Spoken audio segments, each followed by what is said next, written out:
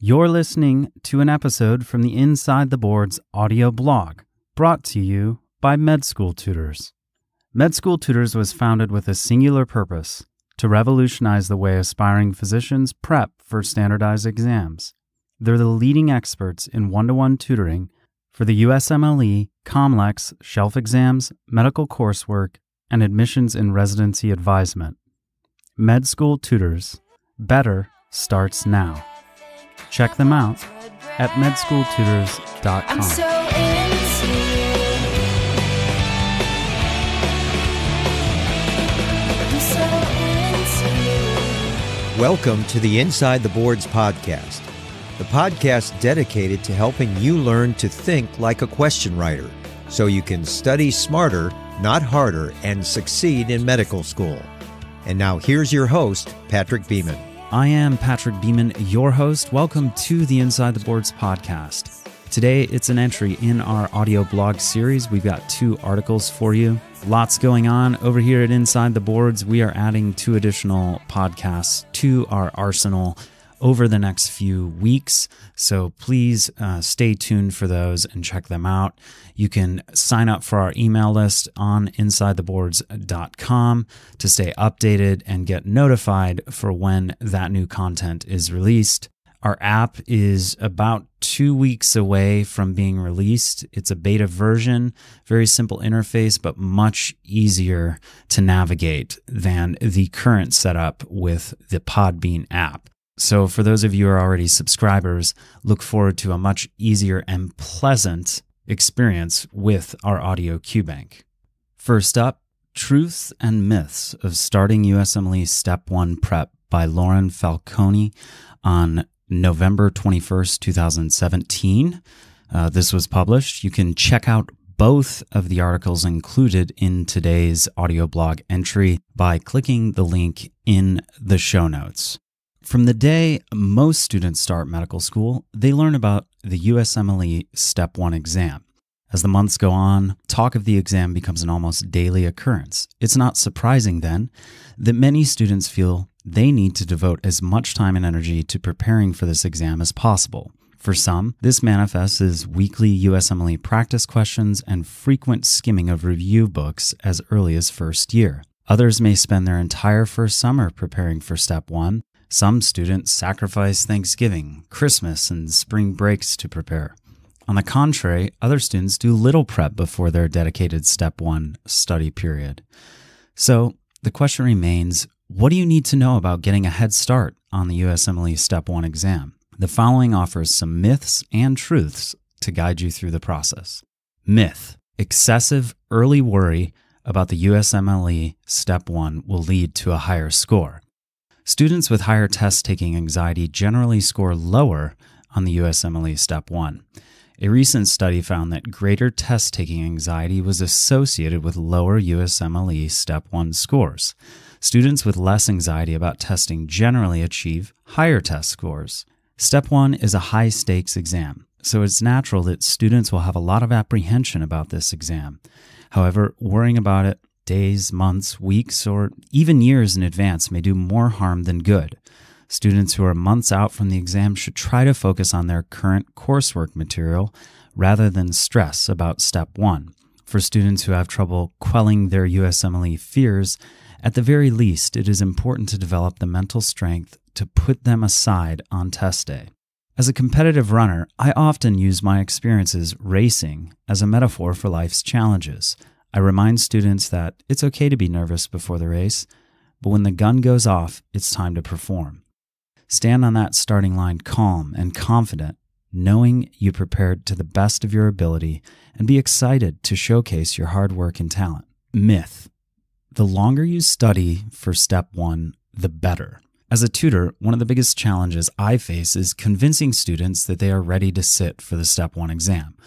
All too often, students want to push their exam as late as possible to give them a few more days or weeks to study. Most students feel that more time will give them greater ability to retain more knowledge and potentially earn a higher score. But the reality is that students who push their exam to the very last minute or even delay the next step of their training to allow more time to prepare are typically not the students achieving the highest Step 1 scores. Numerous studies have indicated that increasing the number of days studied does not lead to increased Step 1 scores. In fact, Kumar et al. found that students who study less than 40 days in their dedicated Step 1 study period achieved higher scores than students preparing longer than 40 days. With that said, this doesn't mean preparing early for step one can be a waste. Rather, it suggests that quality is more important than quantity, which leads us to our next point myth. It's okay to sacrifice preclinical coursework studying in favor of early, rigorous step one prep. It is extremely important for students to learn their coursework material well the first time around I always tell students that while they are still taking classes and studying for exams prior to their dedicated Step 1 study period, they must make their coursework a priority. Only after they are doing well with their coursework and managing time appropriately can they start to incorporate Step 1 prep. This means that if you are really struggling with a particular subject, it is important to get help. Talk to your professors, get a tutor, learn the material well the first time. And most importantly, don't sacrifice your coursework material in exchange for spending more time on early step one prep. It is important to have a solid basic medical knowledge before one can expect to do well on step one. QBanks and review books are designed to be just that review sources for material you have already learned. Truth completion of more practice questions correlates with higher USMLE Step 1 scores. Learning how to dissect step one questions is key to getting a high score, and there is no better way to learn than by completing many practice questions.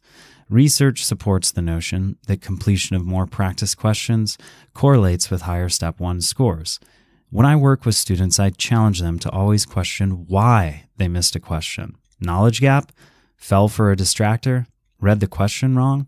Students who complete more practice questions not only review a greater diversity of material, but also learn more about themselves and how to better tackle challenging Step 1 questions. In summary, the decision on when to begin Step 1 preparation ultimately depends on a number of factors.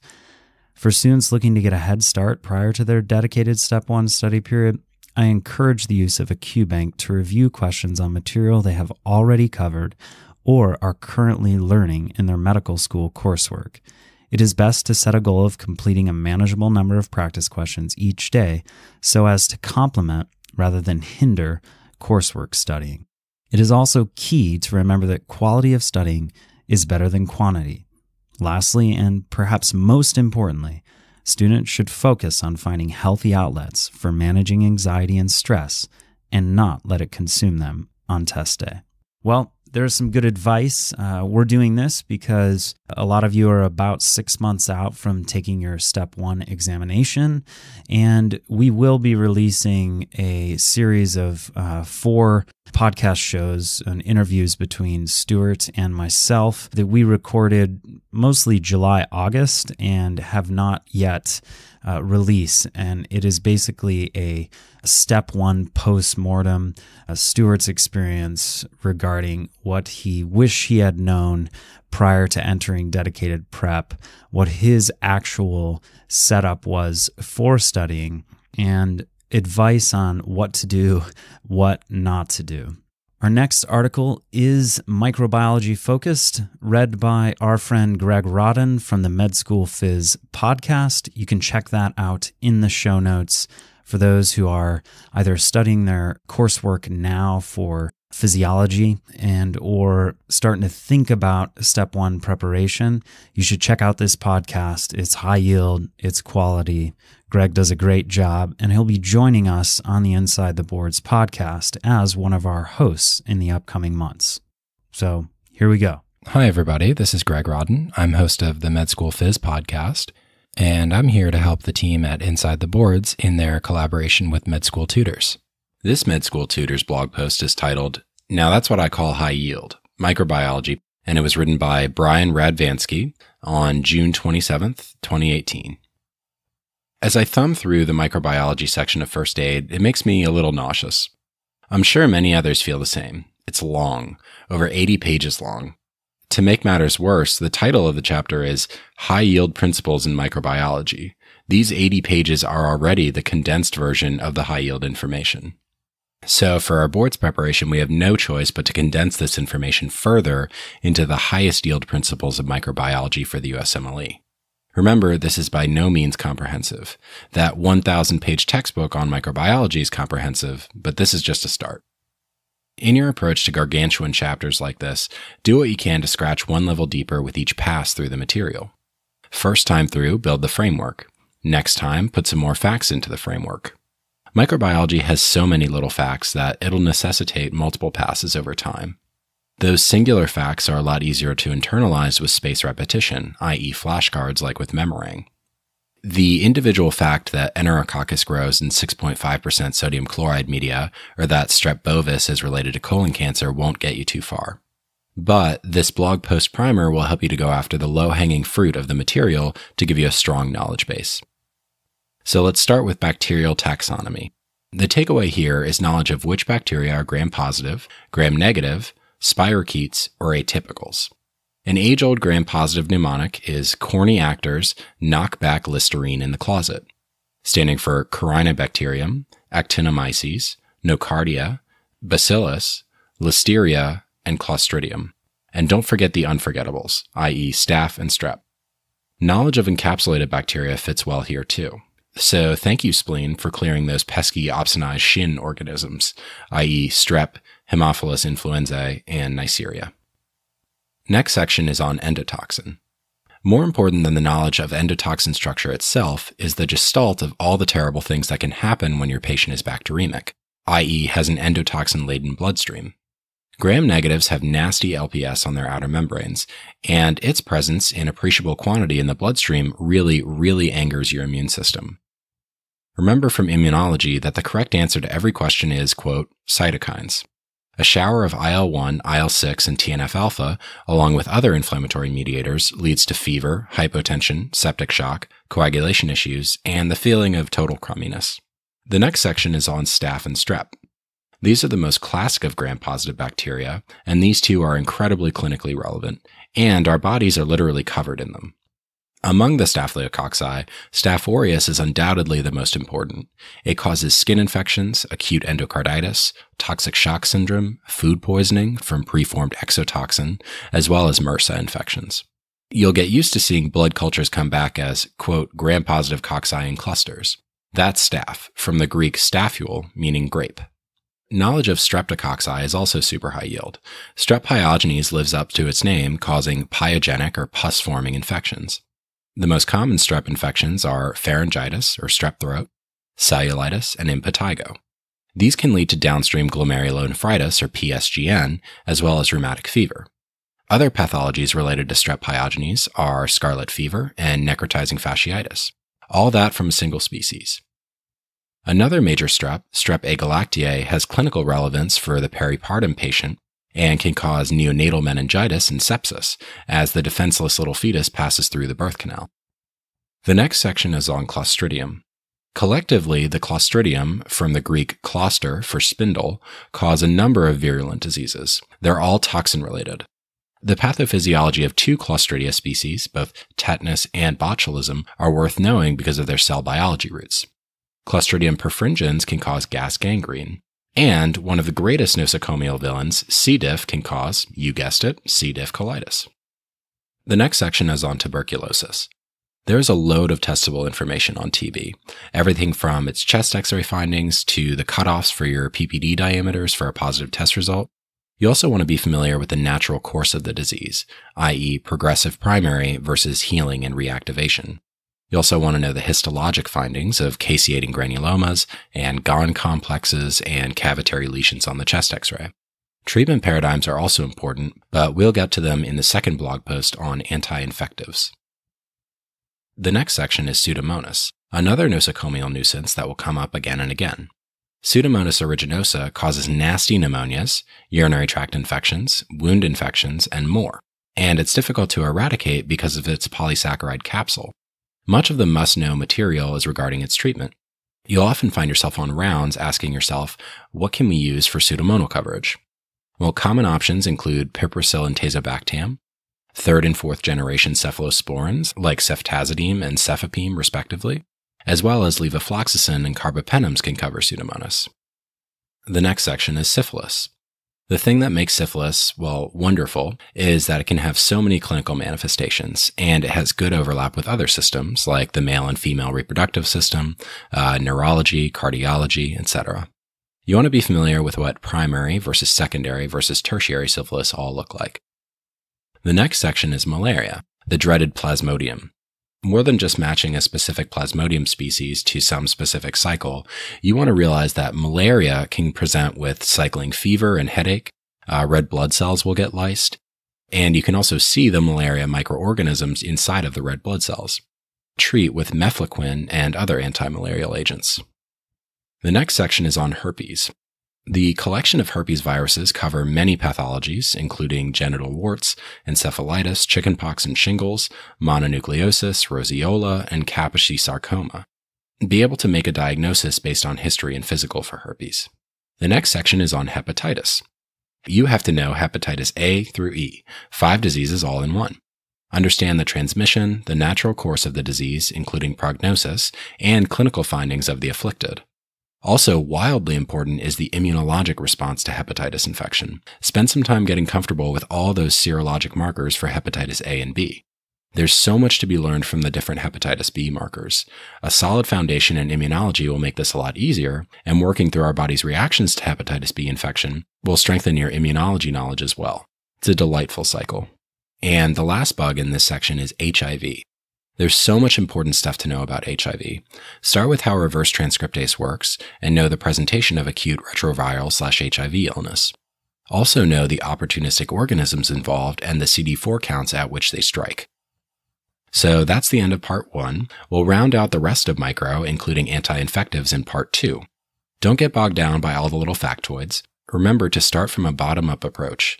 Build the framework of understanding, the big picture first, and then fill in the tiny facts over time. Again, if you enjoy Inside the Boards and what we're doing to offer you free high yield MedEd, please do me a favor. Click the link in the show notes for the Inside the Boards provider page. I want you to check out the Medical Mnemonist podcast. That is the newest podcast that we have in our group of shows hosted by Dr. Chase DeMarco, who is a team member with ITB also will become a host on the Inside the Boards podcast in the upcoming weeks and months.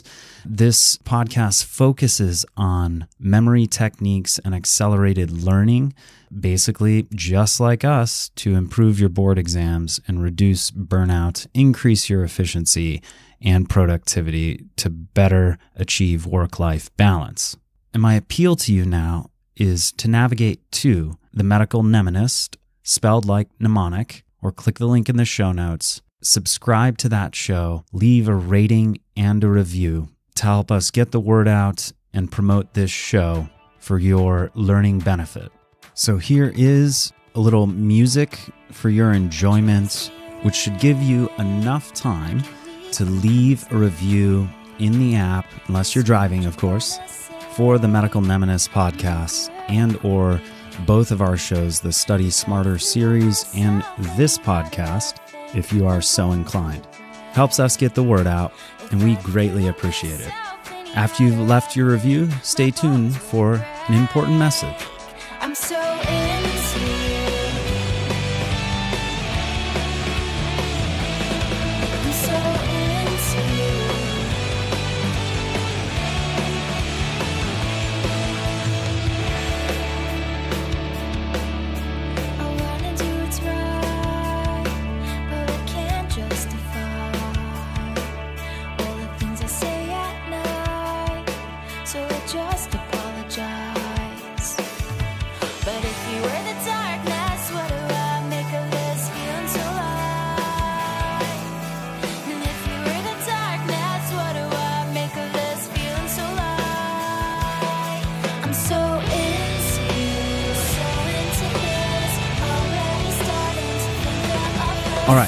This is an appeal.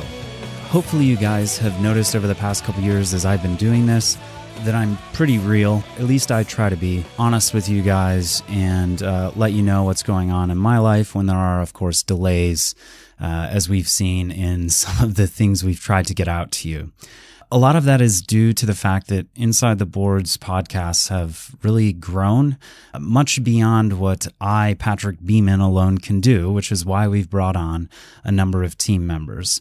This takes about a full time job every week, and all of the time that I have free during my time in the hospital, I'm also working on ITB. As of now, we we don't really make a lot of money, frankly, enough to cover our podcast hosting and some of the um, equipment and paying our people to edit the podcast and or edit questions for the audio cue bank.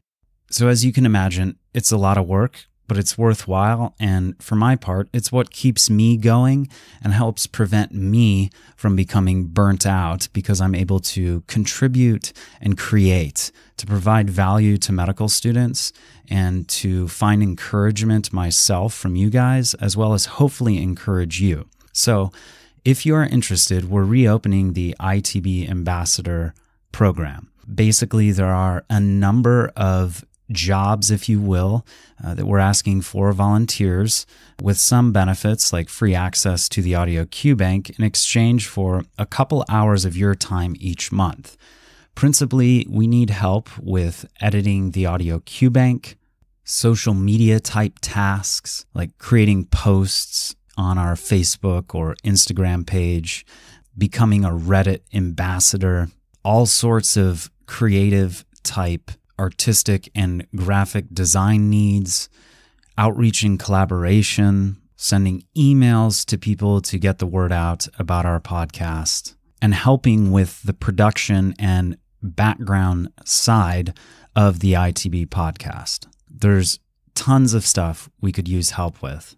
We'll do our best to make it worth your while, both in terms of what we give back and of course, it'd be another bullet point on your residency applications that you've been involved in this medical education free open access platform to help your fellow students succeed in medical school. If you're interested, send an email to info at insidetheboards.com. And as always, thank you so much for your support. That's all we have for today. In the upcoming weeks, we'll be releasing the Step 1 postmortem series with Stuart and myself. And once more, thanks to the band Knights, that's Knights with two eyes, and Sun Pedal Recordings for letting us use the song So Into You off Knights' newly released album, Hellebores Part 1. You can check them out wherever you stream music or click the link in the show notes to hear more on Spotify.